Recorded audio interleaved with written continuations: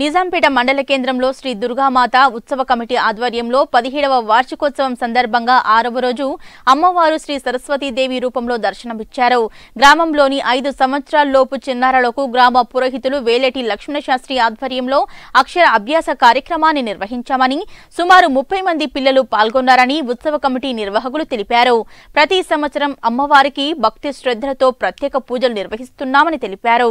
ఈ కార్యక్రమంలో గ్రామ పురోహితులు లక్ష్మణ శాస్త్రి శ్రీ దుర్గామాత ఉత్సవ కమిటీ సభ్యులు తమ్మలి రమేష్ చోకోటి వెంకటేశం జిడి మల్లేశం ఎదుగని వెంకటేశం బజారు స్వామి గౌడ్ రాజు పరశురాం గౌడ్ వినయ్ గౌడ్ నాయని లక్ష్మణ్ నాగరాజు సాత్విక్ గౌడ్ నవదీప్ గౌడ్ మహేందర్ గౌడ్ మహేందర్ గ్రామ మహిళలు చిన్నారులు గ్రామస్తులు తదితరులు పాల్గొన్నారు.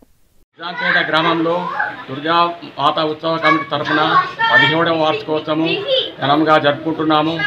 ఇందులో భాగంగా ఈరోజు దుర్గాదేవి మూలా నక్షత్రంలో సరస్వతి మాత అలంకరణలో దర్శనమిచ్చారు.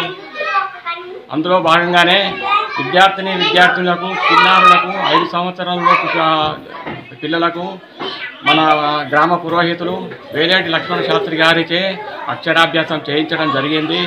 ఇటువంటి కార్యక్రమాలు జరపాలని ఆ అమ్మవారిని వేడుకుంటున్నాం.